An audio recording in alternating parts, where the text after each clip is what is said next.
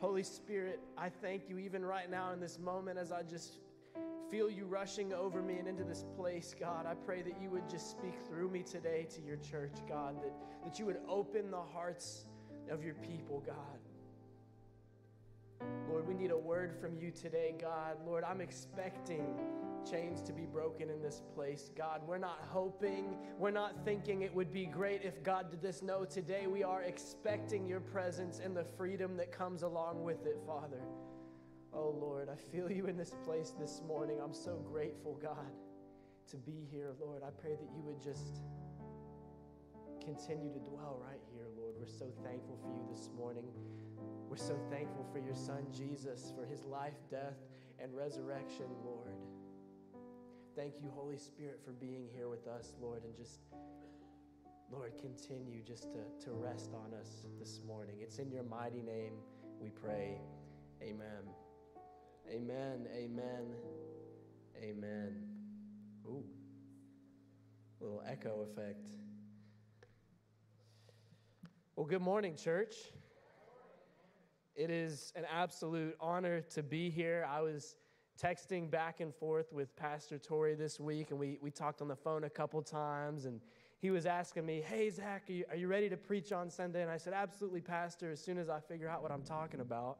And, and you know, I kept that going up until about Friday, and then I, I saw him at dinner last night, and I was saying to my buddies, Hey, guys, what should I preach on tomorrow? And and in earshot of Pastor Tori. Then this morning, as the five minute countdown was going, I put my arm around him and I said, Hey, Pastor, man, what should I talk about this morning? So hopefully, hopefully we have something, but no, that's an old pastor joke for you. I have, I have a sermon. Um, but to feel that, that has weight, that has significance. You'll feel the effects of sin even though you're set free from the condemnation. But don't you dare believe that you are a bigger sinner than God is a forgiver. In fact, your mistakes and your sins do not hold a candle to the victory of forgiveness that Jesus earned for us on that cross. So, why is this particular lie detrimental to our faith? Because the enemy wants you to waste your days in worry and regret so that you become blind to the life and joy that is in Jesus. The enemy wants us hyper fixated on the things that we've done wrong so that we can't experience the fruits of the Spirit. He wants us looking at all of the mistakes that we've made, holding this regret, holding this shame because the longer we're doing that, the less we're looking at Jesus who already set us free from it. December 21st, 2012. For many of you, you're like, what is he talking about? Some of you, this might, you might laugh a little because you remember this maybe being on the news or some sort of media outlet. For those of you having trouble remembering what I'm even referring to, allow me to explain. December 21st, 2012 marked the end of the ancient Mayan calendar, okay? So naturally, this marked the end of the world as we know it. If I asked you what REM and the ancient Mayans had in common at the beginning of my message, would you have said end time prophecy? Maybe. Now, most of us probably shrugged that off. 13 year old Zack did not. I was absolutely convinced, I mean, in hindsight, they probably just ran out of rocks to carve, but the ancient Mayan calendar ended, and for some reason that had significance in my life. And so on the morning of the 21st of 2012, in December, I woke up at four in the morning in this cold sweat, where I was like, I mean, nobody else is taking this seriously. Like, I mean, what if this is the end of the world? So we've all been 13, don't judge me. And I'm, and I'm, I'm literally sitting there, I can't move, and I'm just sweating in my bed because I'm thinking, this could be the last day on earth. This could be it. I know better now. I mean, you know, a decade later, we're, we're living proof that 13 year old Zack was wrong. But at the time, I was absolutely terrified. I remember hearing my dad get up and go downstairs and get ready to go to work, and I was thinking, oh, I should go downstairs and tell him I love him because this might be the last time I see him. because I was, I was paralyzed by, I literally could not even get up and go do that because I was so scared. As, as silly as it sounded, but I heard it all over these media outlets and all of my friends at school talking about it. And I think they made a movie about it. I mean, it's got to be true, it's got to be happening. And it's funny all this time later to look back at 13 year old Zack and how silly it was of him to believe the media that, that the world was going to end and that he was so struck by fear. But in a similar way, we do the exact same thing today. When I think big picture, I tend to get overwhelmed. If I take a, a, take a step back and look at the wide zoom of, of what's going on in the world right now, I start to see problems that, that really have no solutions. And I see violence without cause, and it breaks my heart. And I, I wonder where God even is in some of these situations. And it affects how I feel and how I trust in God. How can I be content, let alone thriving in my relationship with Jesus, when I see so much injustice in the world around me and even in my own backyard? Turn with me in your Bibles to Habakkuk. You're like, what is that? Gesundheit. That's a book of the Bible, somewhere in the middle. Habakkuk. Now, a funny thing about this book is the first subheader of the book of Habakkuk is called Habakkuk's Complaint. How many of us, if we're being absolutely honest this morning, if we had our own book of the Bible, it might start something like that, right? Zack's complaint, fill in the blank with your name. No, none of us? All right. Didn't think so. We, we're all happy. Anyway, Habakkuk starts a prayer to God like this in verse 2 How long, O Lord, must I call for help, but you do not listen? Violence is everywhere. I cry, but you do not come to save. Must I forever see these evil deeds?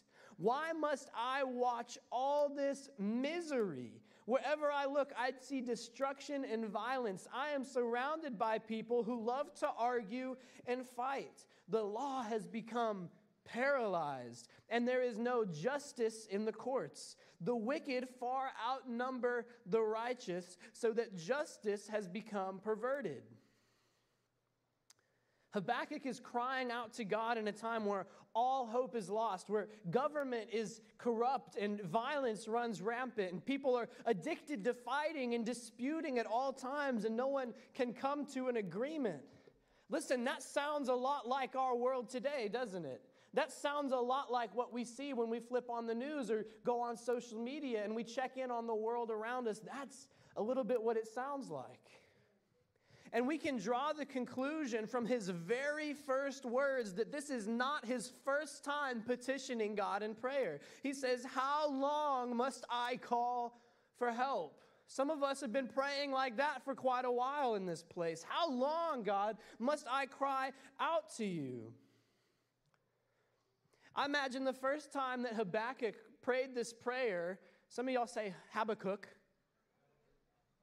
I've never had anything he's cooked for me, so I don't know. I call him Habakkuk. Sorry.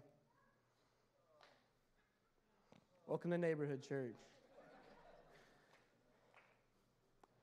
I imagine the first time that Habakkuk went to pray to God, he probably had this beautiful scroll that he had written with a, with a dove's quill or whatever you call it, and he had this perfectly uh, written out prayer for God with all of these things that he was going to say. He probably lit some candles, told everybody to be quiet. He probably put some Hillsong on in the background to get God's attention and set the mood for him to listen to him. And he prayed and he prayed and he put this all out on the table, expecting almost to hear God audibly because of how good he was praying, and looked out his window after saying amen and saw more of the same thing.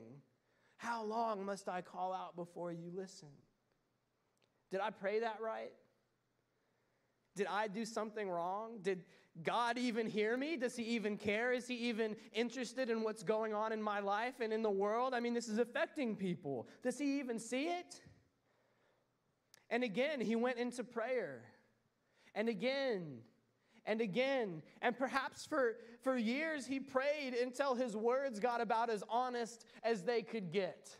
his heart got as real as it could get, where he was saying, God, I don't know where you are. I am praying. It doesn't seem like you're listening, but I need you. And do you know what happened next?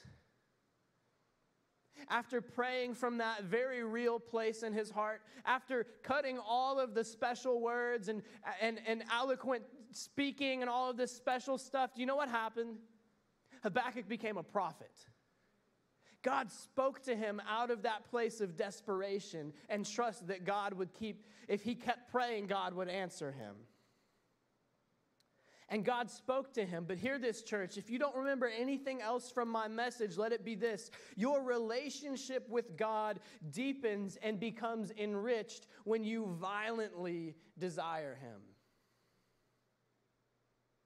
I have scripture that can back that up. When you violently desire Him, when you want God like you want water, when you pray to Him trusting that He is going to answer your prayer, there's a big difference between, I could really use a word from God right now, and I'm going to get one. There is a big difference from, man, I really just could use the presence of God in my, in my life right now, and a big difference from, I'm going to call heaven down into my situation and rest in the Lord. You have to violently desire him. He's not looking for halfway. And that's exactly where Habakkuk was praying from. And the Lord answered him and spoke. And do you know what happened? He made it worse. What God said next confirmed all of Habakkuk's fear. I don't have time to read the whole, the whole book with you. I highly encourage you to go and read his book. But, but the Lord responded to him and he confirmed yes, it is as bad as it looks. The Babylonians are mounting an attack on you and they're angry. They want to wipe you off the face of this planet. Yes, that's true. And yes, the rich continue to build their monuments at the expense of those who have nothing. Yes, they are thriving, like you said. And Habakkuk returns with his second complaint. Now we're getting honest. Second chapter of your, of your book would probably be that too, right? His second complaint. And after all this time, of beating at the gates of heaven and saying, Lord, open up. I need you to hear this. I need your help. God just confirms all of the things that he was afraid of. But then God replies again Go and read this for yourself. He says, Yes, these things are happening. Yes, it is as bad as it looks. Yes, the weapon is formed against you. Yes, they have every intention to wipe you off of the face of the earth and delete you from history, but the weapon formed against you will not prosper. It looks bad because it is bad, but I will not let them get away with it. Chapter 2, verse 14 says this For as the waters fill the sea, the earth will be filled with an awareness of the glory of the Lord.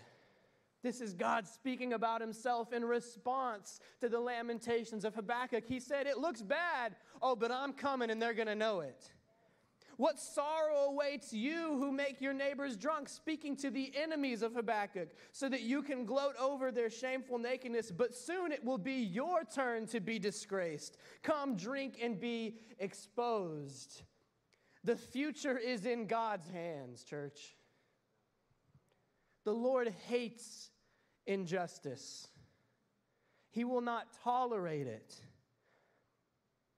It's not a matter of convincing God that he needs to take action against the evils of this world. It's a matter of time before he does.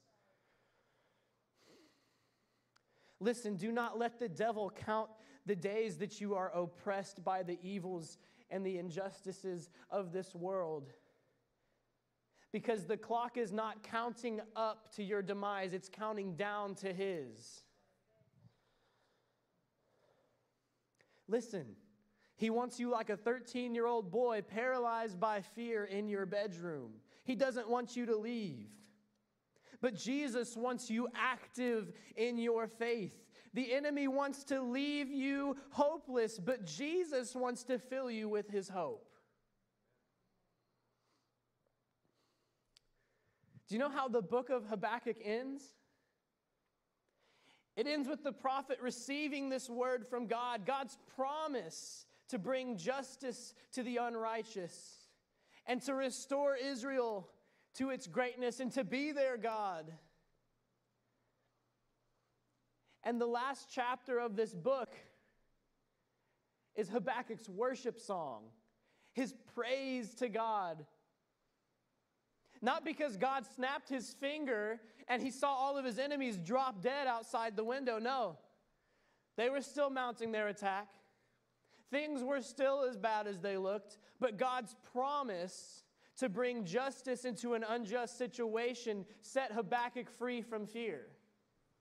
And in that freedom, he worshiped God. Listen, some of us need to worship God before we have what we've been praying for. For some of us, the freedom is not in the answered prayer, but it's in the trust that God will answer the prayer. I'm telling you, some of us have been paralyzed by fear for too long because you've been saying, God, I need this this way right at this time, and you haven't gotten it. But I'm telling you, if you would just trust in God's way, you would be set free to worship Him.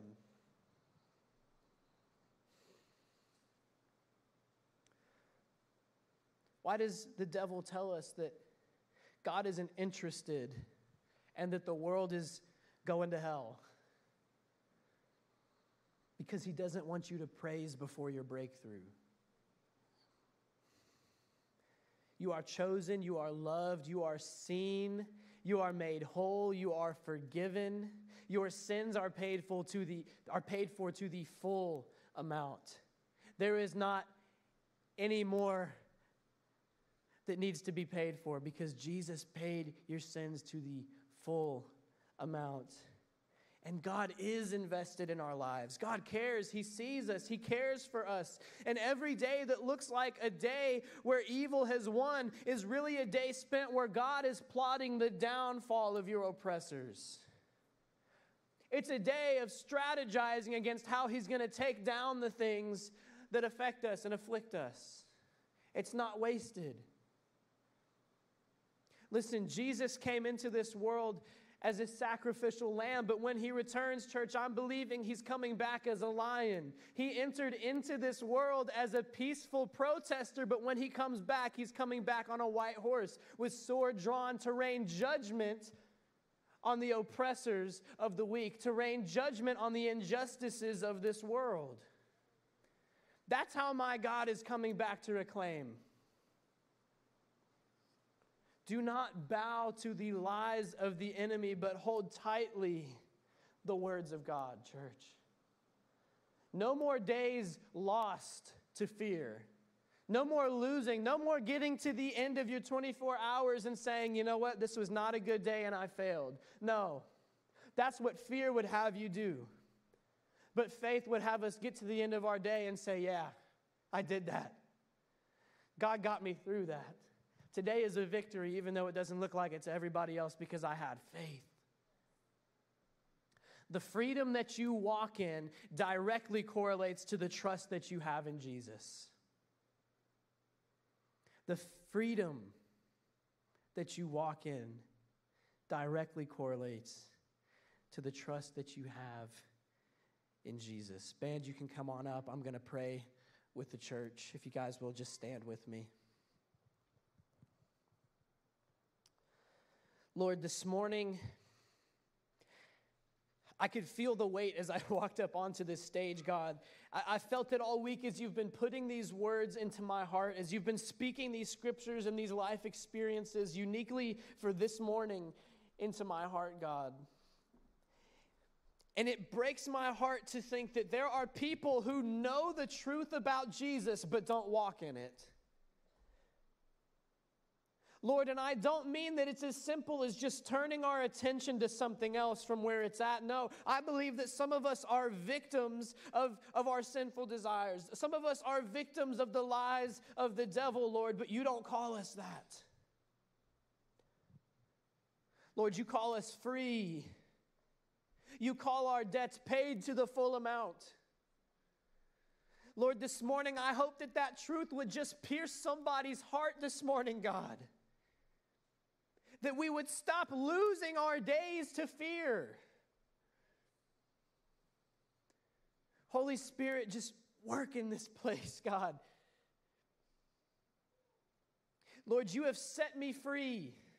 God, and the feeling that I have when I walk throughout my day and, and the tribulations and the trials don't shake me to my core anymore because I have more faith in you. That's what I want this church to experience, God. I want freedom in the lives of these people, God. It breaks my heart to know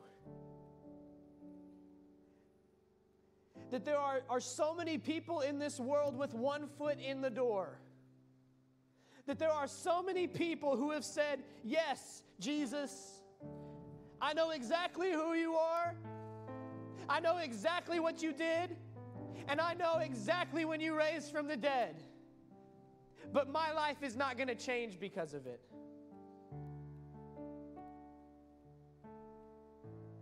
So, Lord, my deepest lament, but also my deepest petition to you is that for anybody in this room, Lord, who has believed one of those three lies or all of them, God would be set free this morning by the truth that comes from your holy, holy word, God. Let chains fall in the name of Jesus, Lord. Let strongholds and principalities be crumbled at the sight of Jesus reclaiming our hearts, God. Come in. You are a God of invitation. So we accept that this morning.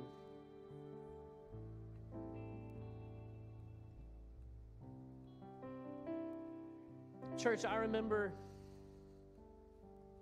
I remember a time where I knew all the lingo. I could speak all the Christianese. I could say all the right stuff because I just grew up in church. I remember it all. But I remember the day that I met Jesus, and it was long after that. So if you're in this room this morning, I don't care if it's embarrassing. I don't care if people are around you looking at you. And that's you. Saturated in Christianity, but deprived of Jesus. I want you to pray that prayer with me right now. Everybody with eyes closed around here, just pray that prayer with me. Dear Lord Jesus, I believe that you are the Son of God. You were sent to this earth for me. You voluntarily got on that cross for me. And you were voluntarily slain on that cross for me. And three days later, you came out of the grave. Jesus, I am yours, and you are mine. Amen. Amen. Let's worship one more time and give him everything that we got.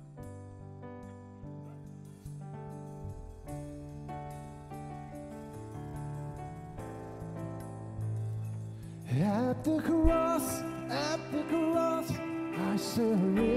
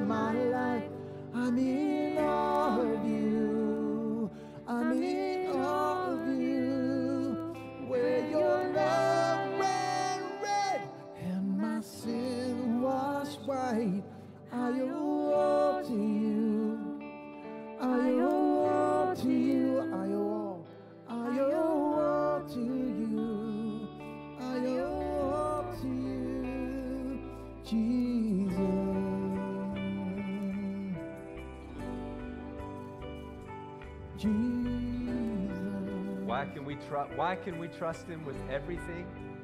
With not just one foot in, but both feet in, because of that right there. Because He shed His blood on the cross for us. That's why He gave it all. Are you thankful for that this morning? I tell you what, what a what a, what a strong challenge from Pastor Zack this morning. Thank you, thank you, Pastor Zack. Um, saturated with Christianity, Christianity, but deprived of Jesus.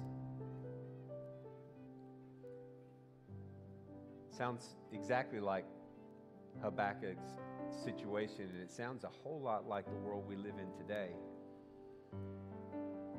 What a challenge. Thank you, Zack.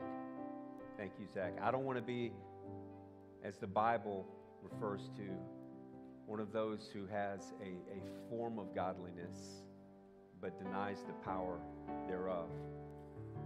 I need Jesus. We all need Jesus. Listen, let's uh, let's take him with us today. Let's take him with us today. Let's let's let's turn from our sins. Let's let's abandon those things. Make that decision today to, to walk with Jesus every day. Are you with me?